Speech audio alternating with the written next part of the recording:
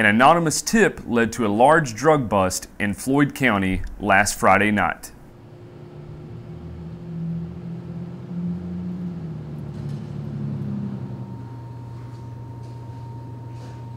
It occurred on September the 6th, uh, last Friday, at a local hotel here in Prestonsburg.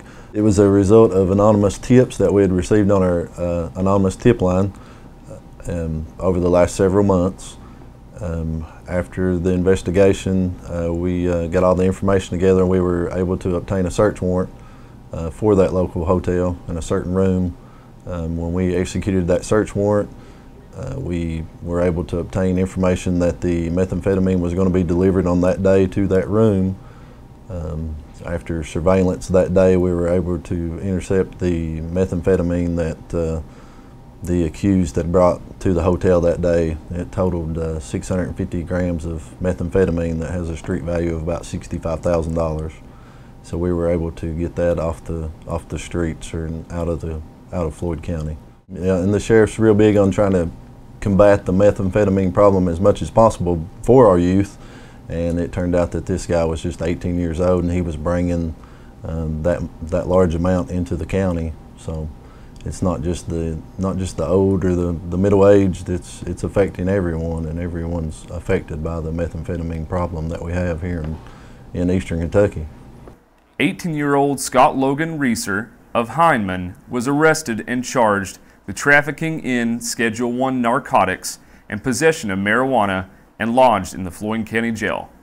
That's a lot of methamphetamine that we got off the street, 650 grams. If you want to imagine, it's like a gram of meth. A lot of people don't understand the, the uh, how you would measure that or whatever, but you can think of a sugar packet that you put in your coffee or your sweet tea. One, one sugar packet is equal to about one gram, so we got 650 of those off the, off the streets.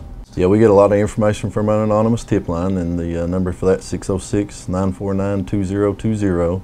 Uh, we get a lot of information. A lot of our investigations begin there, and people don't have to leave their name. They just they give us the information. We follow up on every tip that's left on there, and that's how we get. A, that's how we start a lot of our investigations is from that anonymous tip line. People feel comfortable calling in, not having to give their name they care about their communities, but they don't want to put their name out there. So, so we take those very serious, and we, we follow up on every one of those tips that someone calls in.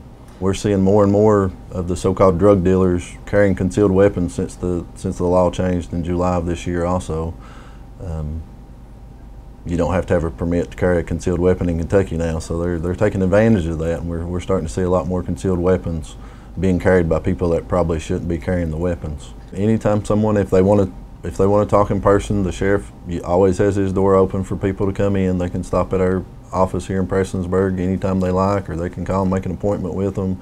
He's always glad to speak with people, or they can call if they don't want to put their name out there or their face out there. They can always call the anonymous tip line. Scott Logan was released today on a $2,000 cash bond.